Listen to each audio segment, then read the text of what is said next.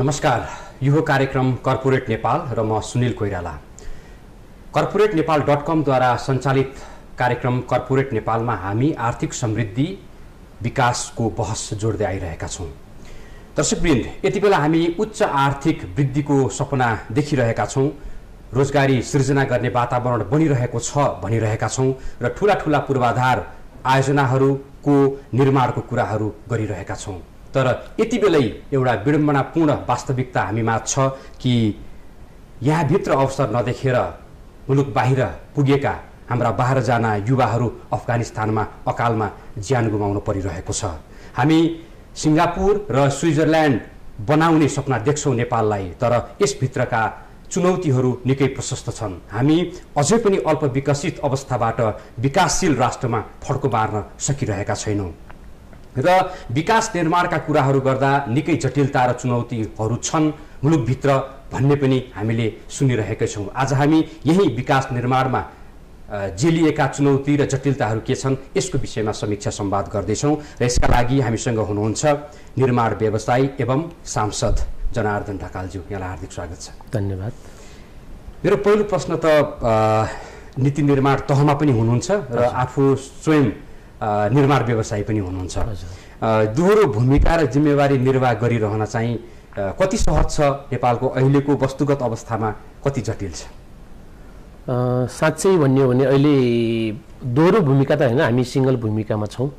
योभन्दा अगाडि जसरी हामी एउटा व्यवसायमा थियौँ त्योभन्दा पछाडि अहिले हामी एउटा देशको नीति निर्माण तहमा आएका छौँ।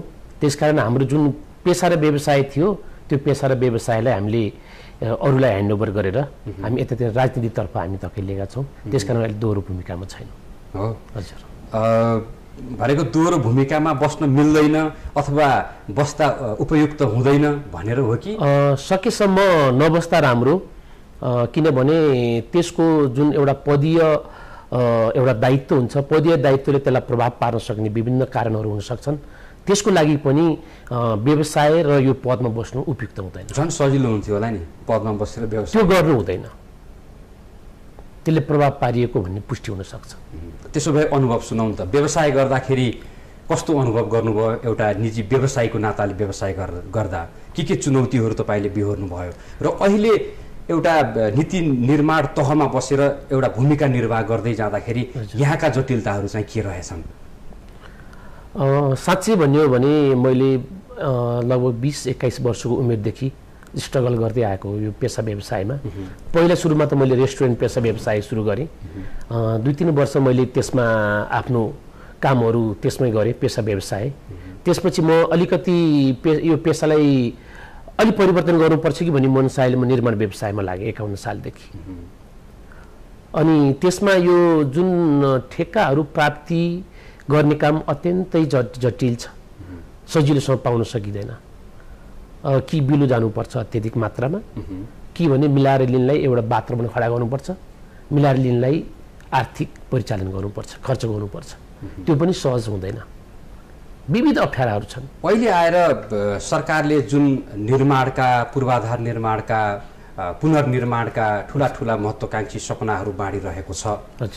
भनिन्छ अथवा सरकारको त एउटा स्पष्ट रोडम्याप र योजना पनि होला। त्यो हेर्दा तपाईँलाई कस्तो लाग्छ? किनकि यता हामीले खान कहाँ खाने र कहाँ बस्ने भन्ने एउटा अवस्था चाहिँ छँदैछ। हाम्रो मूल्य वृद्धि आकाशिरहेको अवस्था छ व्यापार घाटा हाम्रो चुलेर गइरहेको छ हाम्रो आर्थिक वृद्धि ऋणात्मक करिब करिब बनिरहेको अवस्था छ। यत्र महत्त्वकाङ्क्षी सपनाहरू बाँड्दै गर्दाखेरि बस यथार्थसँग चाहिँ कति मेल खाने देख्नुहुन्छ तपाईँ? वैशाख बाह्र गतेको जुन विनाशकारी महाभूकम्प छ त्यसभन्दा पछाडिका समय र परिस्थितिहरू बदलेका छन्। हिजो हामी लामो समयसम्म एक प्रकारको राजनीतिक सङ्घर्ष गऱ्यौँ। हामी अब त्यो राजनीतिक सङ्घर्षलाई हामीले अन्त्य भयो भनेका छौँ। अब हामी आर्थिक समृद्धितर्फ अगाडि बढ्नुपर्छ भनिरहेका छौँ। यो सन्दर्भमा नेपाल सरकारले विशेष गरी सामान्य प्रधानमन्त्रीज्यूले यो एउटा सपना देख्नु एउटा गौरवको कुरा हो र महत्त्वपूर्ण कुरा हो। जतिखेर हामी सपना सपना देख्दैनौँ अथवा महत्त्वकाङ्क्षी कुराहरू अगाडि ल्याउन सक्दैनौँ तब हामी हामीले भनेका जुन परिवर्तनका कुराहरू छन् सामाजिक परिवर्तन आर्थिक परिवर्तन रूपान्तरणका कुराहरू गरेका छौँ त्यो सम्भव छैन। त्यसकारण पनि हामीले महत्त्वाकाङ्क्षी र यसलाई जुन देखिएको एउटा समस सपना छ त्यसलाई अगाडि बढाउनुको निमित्त चाहिँ हामी सबै पक्षहरू चाहिँ लाग्नुपर्ने देखिन्छ। जस्तो म तपाईँलाई एउटा उदाहरणको रूपमा भन्छु नेल्सन मण्डेलाले अफ्रिकालाई कसरी विकासको पथमा अगाडि बढाए? लिक्वन चाइना त्यसपछि गएर मोहम्मद मथिरले माथिरले तपाईँको मलेसिया लगायतका विभिन्न राष्ट्रहरू चाहिँ हाम्रो देशको विडम्बना के भयो भन्दा सपना मात्रै बाँड्ने सृजना अवसर रोजगारी यस्तो विकास चाहिँ यस्तो। छ। कसैले देखाएको सपनामा साथ र सपोर्ट सबैको हुनुपर्छ। एक्लो व्यक्ति हिँडेर प्रथम कहिले पनि हुँदैन। त्यसमा सबैको साथ सपोर्ट हुनुपर्छ। तर राम्रा योजनाहरूलाई सहयोग र समर्थन गरेर अगाडि बढ्यो भने पक्कै पनि पुग्न सकिन्छ। नसकिने के छ? कुन कुन त्यस्ता ठुला चाहिँ महत्त्वाकाङ्क्षी बाँडे छ? हामीले हाम्रो देशमा भएका जलविद्युत आयोजनाहरूलाई भरपुर उपयोग गरेर जलविद्युत निर्माण गर्छौँ। जुन अहिले अन्धकारमा बसेका छौँ हामी दस वर्षभित्र यो अन्धकारमय उसलाई उज्यालोमा होइन परिवर्तन रोड म्याप त ठिक छ त्यही त छ महिनाभित्र हामीले लोड सेडिङ मुक्त गरिदिन्छौँ एक वर्षभित्र गरिदिन्छौँ। त्यसका आधारहरू हामीसँग कनेक्टिभिटीका कुराहरू अथ- अथवा प्रसारण लाइनका कुराहरू अथवा आयातै गर्ने होला यहाँका निर्माण सम्पन्न हुने आयोजनाहरू सम्पन्न हुने चरणमा कति छन् भन्ने कुरा बुझेरै भने हो त छ महिनाभित्र एक वर्षभित्र हामीले लोड सेडिङ अन्त्य गर्छु भन्ने चिजहरू। यस्तो हामीले सपना हुन् र कति साँच्चै यस्तो? सबै कुराहरू आजको भोलि सम्पन्न हुँदैनन्। हामीले भात खानको निमित्त चामल धान रोप्छौँ। धान पनि छ महिना लाग्छ नि पाक्नलाई फल्नको लागि। तर हामीले आजदेखि तयार गर्नुपर्छ त्यो आधारहरू। त्यही आधारहरू तयार गर्न खोजिएको हो। हामीले अहिले सुरु गरेनौँ भने त्यो जलविद्युत आयोजना आजको आज त पुरा हुँदैन। जस्तो हाइवेको कुराहरू छन् डेडिकेटेड डबल लेनका कुराहरू बाटोको कुराहरू छन्। आज सुरु गरिएन भने त्यो हामी कहिले पुरा गर्छौँ त? सुरु गरौँ भनेको हो। सुरु नै गर्दैनौँ भने हामीले जहाँ यहाँ जहाज ल्याउने कुरा गरेका छौँ चाइनाबाट रेल ल्याउने कुरा गरेका छौँ विषय त अझै भूकम्प प्रभावितहरू हेर्नु त जो अस्थायी आवासमा बसिरहेका छन् जसको दैनिकी कति कष्टपूर्ण छ अहिलेको बर्खामा पनि हामीले उनीहरूलाई स्थायी वासस्थान दिन सकिरहेका छैनौँ अनुदान दिन सकेका छैनौँ घर निर्माणको प्रक्रिया अघि बढेको छैन। फेरि वास्तविकता त त्यो हो नि त। त्यसमा पनि केही सन्तुष्टि र असन्तुष्टि कुराहरू छन्। सही कुरा हो तपाईँले एकदम प्रसङ्गमा पनि आउनुभएको छ। वैशाख बाह्र गतेको भूकम्प पछाडि दोषीको भन्ने कुराहरू प्रश्नहरू आउन सक्छन्। यसको हामीले हिजोको विश्लेषण पनि गर्नुपर्छ। वैशाख बाह्र गते भूकम्प गए पश्चात असोजको पच्चिस गतेसम्म कसको सरकार थियो? त्यसको समीक्षा त हुँदै गर्ला। फेरि पनि होला। कङ्ग्रेसको नेतृत्वको सरकारले पिडिएनए रिपोर्ट बनायो दात्री सम्मेलन गर्यो गर्यो त्यत्रो चाहिँ नि त्यो एउटा महायज्ञ थियो। त्यो एउटा जुन सप्ताह लाएर महायज्ञ गरेर प्राधिकरण गठन गरेर सिओ पनि नियुक्त गरे हो अनि कसले विरोध गर्यो भन्ने चिज त फेरि होइन त्यो त त्यो त हिजोको एउटा जेन्टलमेन एग्रिमेन्ट के थियो भने त्यो हामीले भनिराख्नु पर्दैन। यति समयसम्म संविधान जारी गर्ने बेलासम्मको सरकार यसको हुनेछ। त्यसभन्दा पछाडिको सरकार यसको हुनेछ। त्यो राजनीतिक नियुक्त पक्कै पनि त्यही सरकारको होला नि त। त्यो कुरा त बुझ्नु पर्थ्यो होला नि। त्यो कसको बुझाइ गलत रह्यो? ठिक छ। अहिले छ महिनाको पिरियडमा चाहिँ हामीले के गर्यौँ त त्यसो भए उनीहरूलाई म त्यही प्रसङ्गमा आउँदैछु। असोजको तिन गते संविधान जारी गरे पश्चातका परिस्थितिहरू मैले भनिराख्नु परेन। पुसको तिन गते या पाँच गते तपाईँको विधेयक पास भयो। असोजबाट तपाईँको चार महिनाको पिरियडसम्म विधेयक पास गर्न दिइएन। के कारणले दिएन कसले दिएन त्यो जनताले बुझेका छन्। असोजको ज दस गते सिइओको नियुक्ति भयो कार्यकारी प्रमुखको नियुक्ति भयो। त्यस पछाडिको अवस्थामा धेरै जटिलताहरू थिए। भूकम्प गएको थियो। सिंहदरबारभित्र बस्न सक्ने अवस्था थिएन।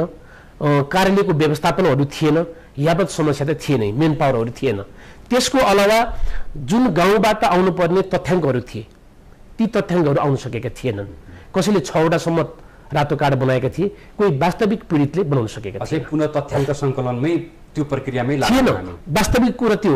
त्यसपछि यो सिओ नियुक्ति भए पश्चात गरेका मैले यसको समर्थन गर्न मात्रै खोजेको होइन।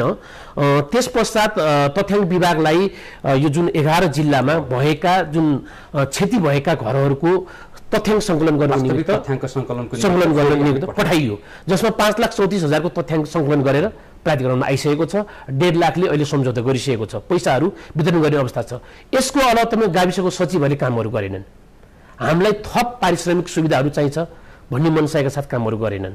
अहिले जटिलता के छ? बैङ्कहरू त्यो पाहाडहरूमा हिमालमा जान अहिले पनि मानिरहेका छैनन्। बैङ्कहरूको एरेन्जमेन्ट गर्न सकेको छैन। होइन सरकारको भूमिका यहाँहरूको भूमिका भनेको त यो सकेनन् यसले पनि मानेन यसले पनि टेरेन यसले समस्या देखाइदियो भन्ने त होइन होला नि त। त्यही चिजलाई नेतृत्व गरेर फुकाउँदै जाने होला कतिलाई निर्देशन छ। भन्ने होला। फुकिरहेको छ। तर तर तपाईँको कुनै पनि बैङ्कहरू एउटा विकट ठाउँमा थोरै गाविसमा भएको ठाउँमा उसको पनि त कर्मचारीहरूको लगानी हुन्छ। त्यहाँ जाने उनीहरूको पनि त त्यो व्यवस्थापनको खर्चहरू हुन्छ।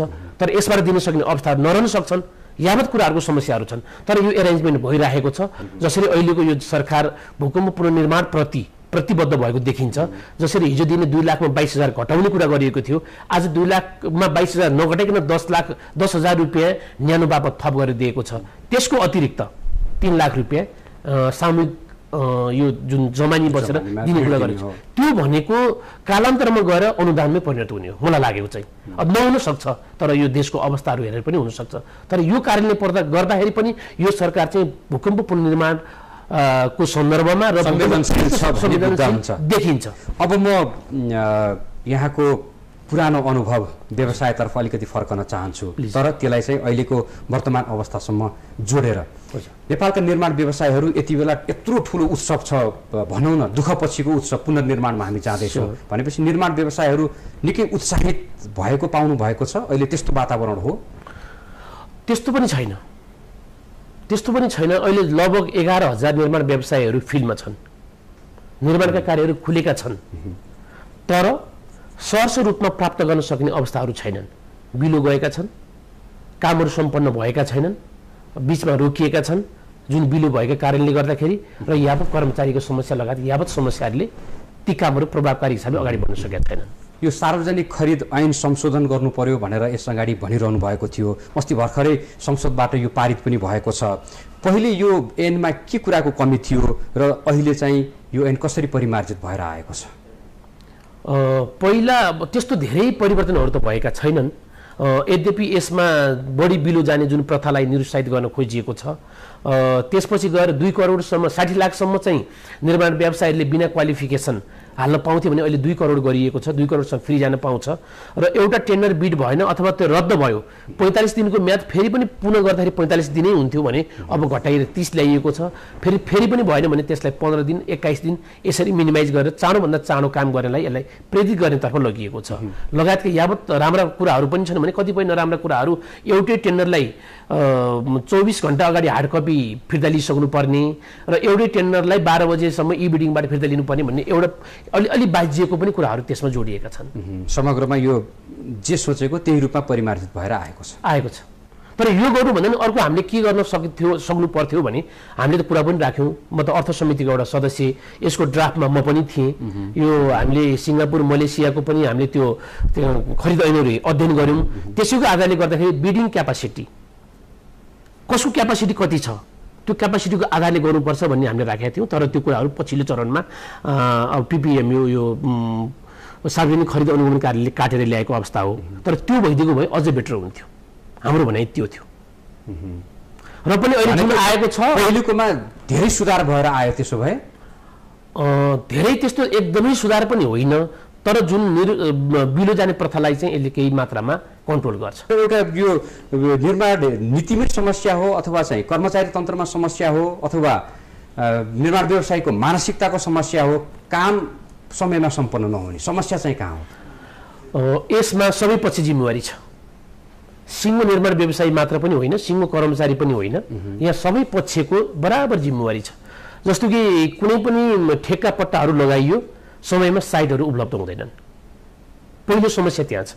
साइटहरू उपलब्ध नभइकन ठेक्का प्रक्रिया अगाडि बढाइन्छ। यता निर्माण व्यवसायले पेस्की लिएको हुन्छ तर उता कामहरू गरिराखेको हुँदैन। एउटा एउटा पक्ष त्यहाँ पनि छ। अर्को पक्ष के छ भने हामीले बजेट पास भए पछा पछाडि साउनको एक गतिबाट अख्तियारी सिधै जान्छ भनेका छौँ। र आजको दिनसम्म आर्थिक वर्षको अन्तिम हुन लाग्यो। अख्तियारी गएका छैनन्। सचिवहरूले आफ्नो टेबलमा मुठ्याएर राखेका छन्। त्यहाँ पनि समस्या छ। यो विकासको खर्च नहुनेमा सबैभन्दा बढी जिम्मेवारी कर्मचारीहरू पनि छन्। हिजो हामीले नीतिमा भन्यौँ बजेट पास गर्दै भन्यौँ कार्यक्रमलाई एकचोटि व्यवस्थापिका संसदले पास गरे पछाडि फेरि कार्यक्रमहरू स्वीकृत गर्नु पर्दैन भन्यौँ तर अहिले फेरि पुरा टिप्पणी उठाएर राष्ट्रिय योजना आयोगसम्म कार्यक्रम स्वीकृत गर्न आउनु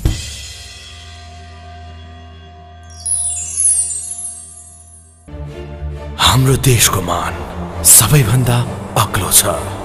नेपालीको शान अरूभन्दा बेग्लै छ। तराई होस् या होस् हिमाल पहाड नेपालमा छ प्रकृतिको बहार। यही प्रकृतिको काखमा प्रकृतिको वरदानले बनेको अल्फा ओपिसी सिमेन्ट। एक्स्ट्रा क्षमता भएको अल्फा ओपिसी सिमेन्ट नेपालीको शान। एउटा विश्वसनीय नाम। अठार वर्षसम्म कुनै समस्या आएको छैन? अरू भएको भए बिग्रिसक्यो उत्पादनको प्रत्येक तहमा सूक्ष्म परीक्षण जसले दिएको छ लामो जीवन।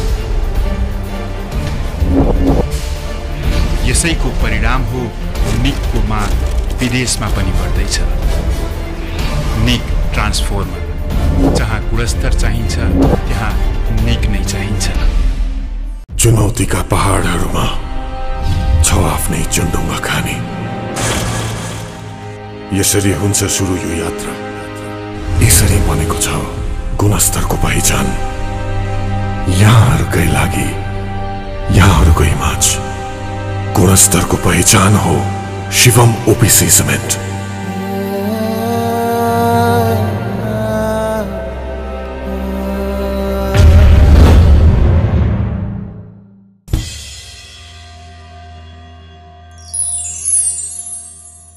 कति सक्षम छन्? गुणस्तरीय हिसाबले चाहिँ कति गुणस्तरयुक्त निर्माण गर्न सक्छन् हाम्रा निर्माण व्यवसायहरू? अथवा बाहिरका निर्माण व्यवसायहरूलाई हामीले चाहिँ आह्वान गर्नुपर्ने आवश्यकता अझै छ कि छैन? कहिलेसम्म रहन्छ? धेरै मात्रामा सक्षम छन्। हामीले अहिले पनि हेर्न सक्छौँ यो देशमा बनेका पुल पुलेसा यो देशमा बनेका जलविद्युत आयोजनाहरू नेपालीले बनाएका हुन्। त्यसकारण पनि सक्षम छन्। होला भलै एक दुईवटा आयोजनाहरू ठुला ठुला आयोजनाहरू विदेशीहरू आएर बनाए। तर समग्र हिसाबले भन्ने हो भने जस्तै चिलीमा जलविद्युत आयोजनाको कुरा गरौँ नेपाली गौरव नेपाली पौरख नेपाली लगानीमा बनेको जलविद्युत आयोजना हो त्यो। त्यस्ता आयोजनाहरू धेरै बनाउन सक्ने यहाँ निर्माण व्यवसायहरू छन्। तर अहिले सुरु पनि भएका तर गुणस्तरीयताको विषयमा त पटक पटक प्रश्न चाहिँ उठ्ने गर्छ होइन? अब यस्तो हुन्छ हेर्नुहोस् गुणस्तर अब कस्तो मानेमा गुणस्तर भन्ने भन्ने कुराहरू हुन्छ। हाम्रो इस्टिमेटको आधारले बजेट छुट्याइँदैन। बजेटको आधारले इस्टिमेट गरिन्छ। मैले भनेको कुरो बुझ्नुभयो होला। जस्तो कि एउटा भवन बनाउनको निमित्त अथवा एउटा सडक बनाउनको निमित्त जति पैसा आवश्यक छ त्यो पैसा छुट्याइँदैन। एक करोड दुई करोड तिन करोड छुट्याइन्छ र त्यसको आधारले अब यसको इस्टिमेट गर्ने भनिन्छ। छ इन्ची ग्राभेलको आधारले छ इन्च दुई इन्ची पिचको आधारले बाटो टिकाउन खोजिन्छ। तर त्यसको इन यो अन्तर्राष्ट्रिय मापदण्ड के हो? त्यो आधारले गरिँदैन। त्यसकारण पनि गुणस्तर प्राप्त हुन सक्दैन। भनेको हाम्रो जुन प्रक्रिया छ त्यसमै सुधार नभइकन हामीले सकिँदैन। गुणस्तरीयता खोजेर मात्र पनि सम्भव सम्भव तपाईँ अहिले हेर्नुहोस् यो कोटेश्वरमा जुन अहिले बाटो बन्दैछ चाइनिजले बनाउँदैछ। Ring road. Ring road. त्यहाँको गराइ काम गराइ हेर्नुहोस् त। अन्तर्राष्ट्रिय मापदण्ड के छ? र अन्यत्र नेपालीलाई गराइएको हेर्नुहोस् कति फरक छ? तल नआएको माटोको लेयर सबै काटेर फ्यालेर नयाँ माटो हालेर छ छ इन्चीमा रोलिङ गरेर बल्ल त्यो सडक बनाइन्छ अन्तर्राष्ट्रिय मापदण्डमा। तर यहाँ के गरिन्छ? बजेट कम छ भनेर बेस हालिन्छ छ इन्ची सब बेस हालिन्छ छ इन्ची र दुई इन्ची पिच गरिन्छ पच्चिस टनको गाडी कुदाइन्छ अब त्यो बाटो फुट्छ कि फुट्दैन? यहाँको भू धरातल धरातल कस्तो छ? त्यसमा हेर्नुहोस् तपाईँले। भनेको त्यो प्रक्रियामै झन्झटिलो झन्झटिलो छ। अब त्योसँग जोडिएको यसभन्दा अगाडि निर्माण व्यवसाय सङ्घका पूर्व अध्यक्ष जयराम लामिछाने ज्यूसँग पनि हामीले कुराकानी गरेका थियौँ।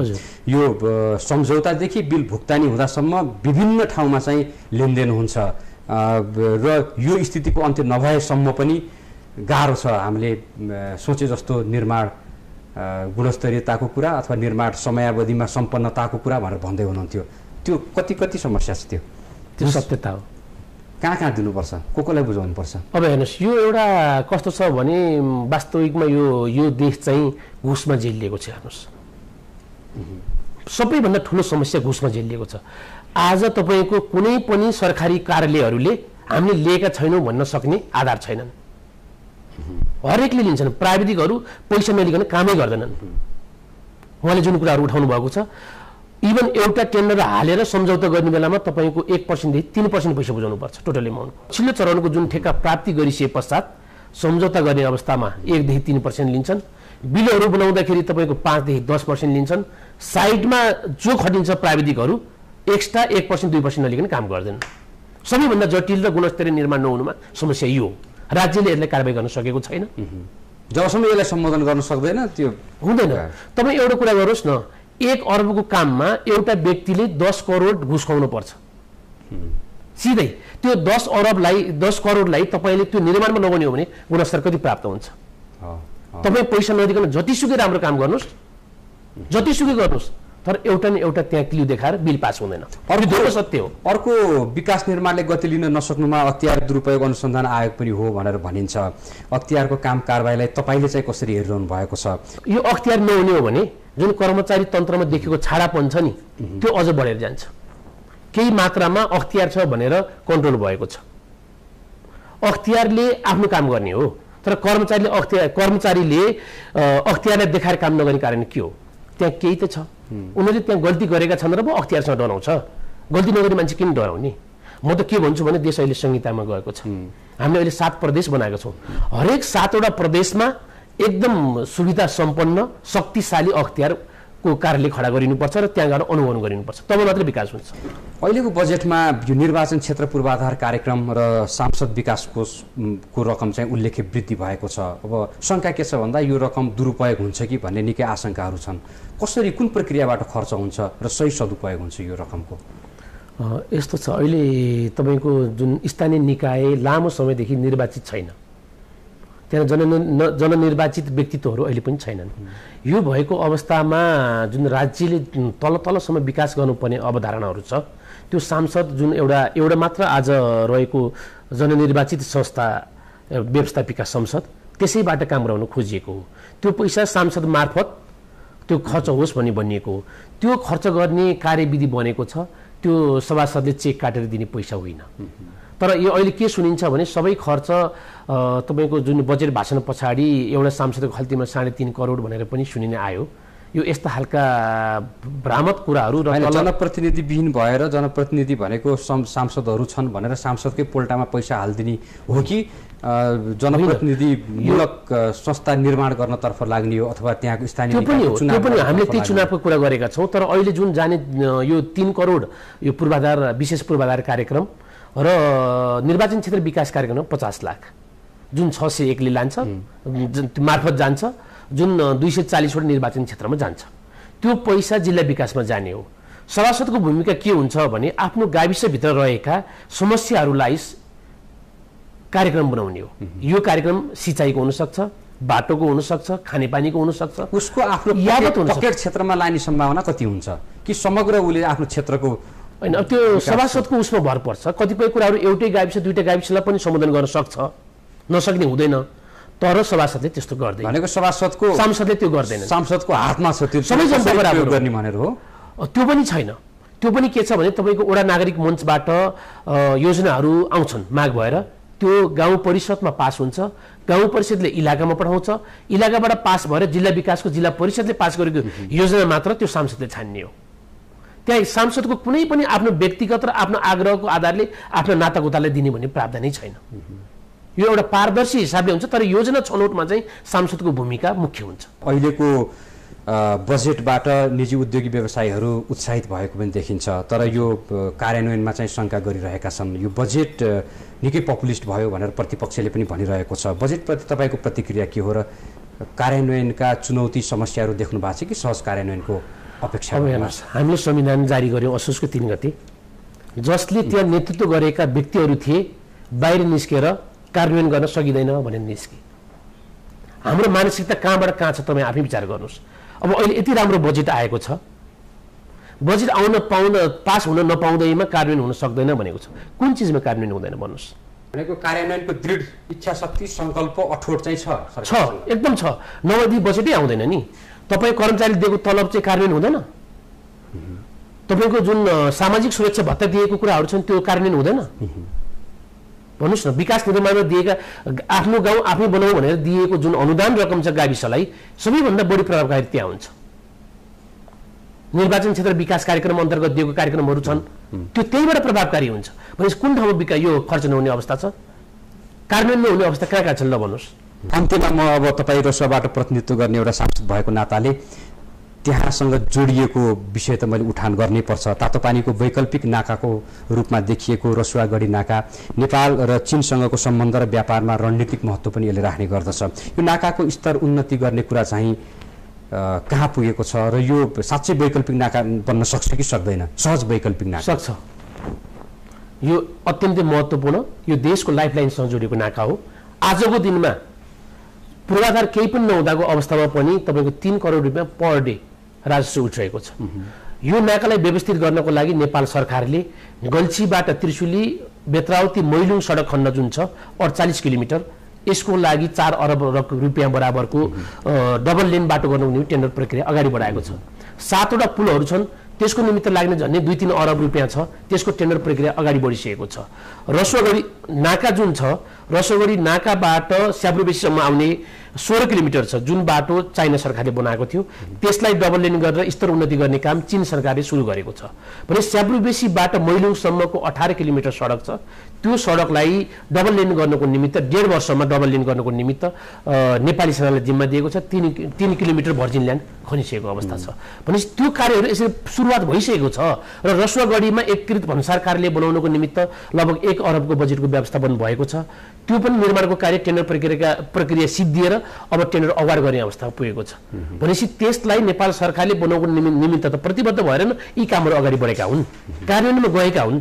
त्यसरी कामहरू अगाडि बढेको छ। त्यसको जुन रसुवागढीको समृद्धि रसुवाको समृद्धिसँग मात्र होइन यो देशको समृद्धि र लाइफलाइनसँग जोडिएको छ। हस् यसको लागि शुभकामना छ तपाईँ र यो एमाले नेतृत्वको सरकारलाई। धन्यवाद।